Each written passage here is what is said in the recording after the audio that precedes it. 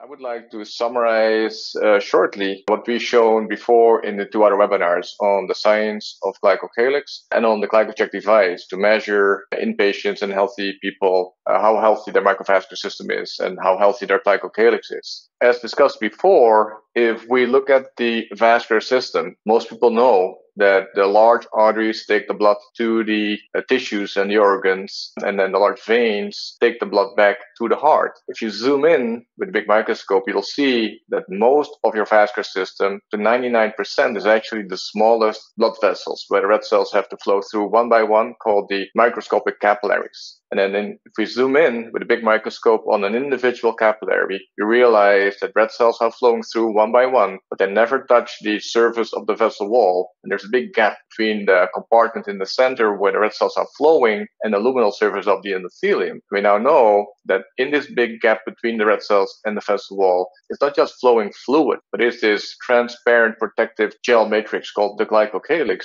that turns out to be essential to keep your microvascular system healthy and modulates all of the known functions of the endothelium. So now when we zoom in even further into this space with an electron microscope, you get images like these. Again, this is a cross section of one of these capillary blood vessels in myocardial tissues. On the right hand side, it's a larger magnification. So on top would be where the red cells are flowing. Here below is the endothelial lining on the inside of the blood vessel wall. And on the surface of the endothelial cells, you see these extensive three-dimensional polysaccharide matrix, which makes up the core of the uh, endothelial glycocalyx. So these polysaccharides, they extend up to a micron or more into the lumen of microvessels, occupying a lot of volume. Now in the capillaries, they occupy up to two thirds of the volume of these capillaries and thereby are crucial to controlling blood content and the way red cells and other cells like platelets and leukocytes interact with the endothelium. Now these polysaccharides, predominantly heparan sulfate polysaccharides and hyaluronic acid, they bind a lot of the plasma proteins and the proteins suck in a lot of the fluid into the matrix, forming a very stable gel-like matrix that prevents direct contact between the circulating blood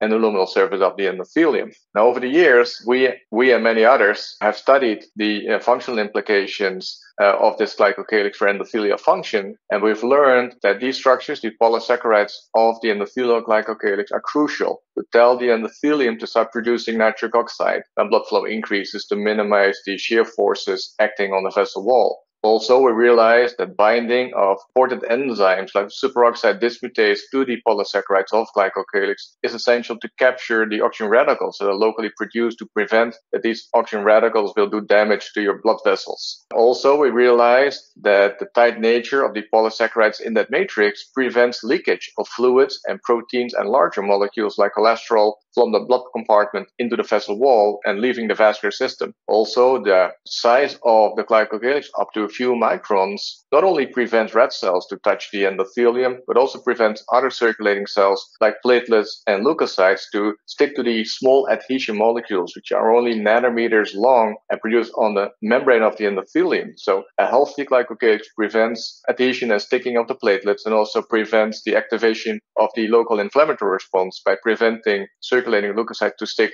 to the endothelial adhesion molecules. After we discussed the science, I also discussed in the previous presentation the use of the glycocheck device. So with the glycocheck device, we can measure life by monitoring how red cells are flowing through the microvasculature in the sublingual capillaries how healthy your microvascular system is and how it changes when people are exposed to different risk factors like obesity. So this slide showed the impact of obesity on microvascular health by counting the number of the smallest capillaries in people at low risk or at medium risk or high risk for future cardiovascular disease. So these are still healthy individuals, but by adding up all the risk factors like you know age, body size, and smoking, etc., can see that people at high risk already lose about 50% of the number of their smallest capillaries as compared to more healthy, low risk individuals. Furthermore, we showed that in more uh, critical situations, like in patients with COVID-19 or patients with sepsis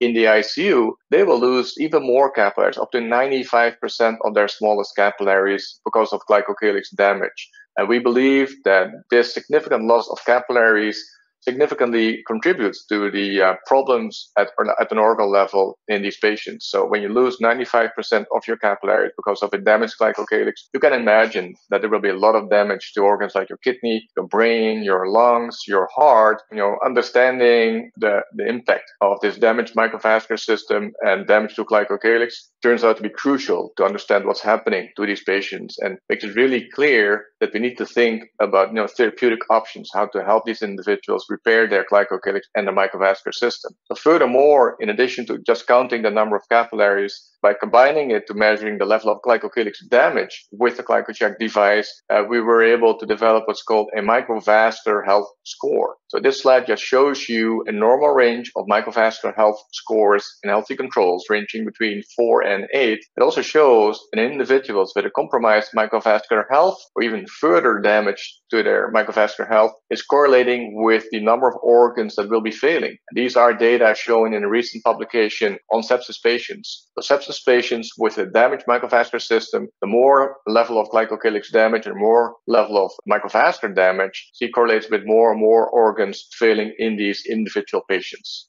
Now, after discussing the importance of glycocalyx microvascular health and showing that with the, the GlycoCheck device, we can monitor an individual's microvascular health and how their glycocalyx is doing, becomes apparent that we need to develop something, a therapeutic to target the improving the health of your microvascular system.